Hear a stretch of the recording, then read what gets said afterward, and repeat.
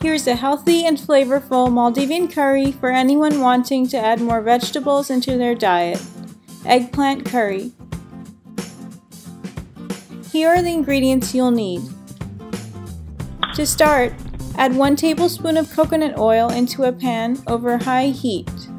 Now add the sliced onions, chopped garlic, curry leaves, chilies, grated ginger, and mustard seeds.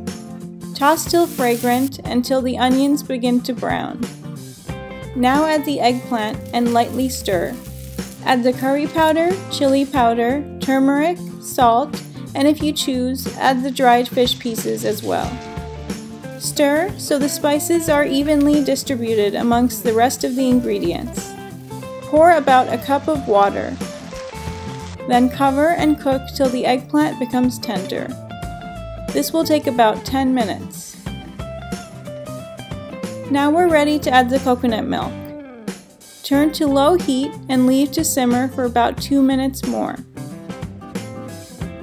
Eggplant curry can be eaten with rice or Maldivian flatbread called roshi. Learn about Maldivian cuisine and try more recipes like this with Cook Maldives the Cookbook.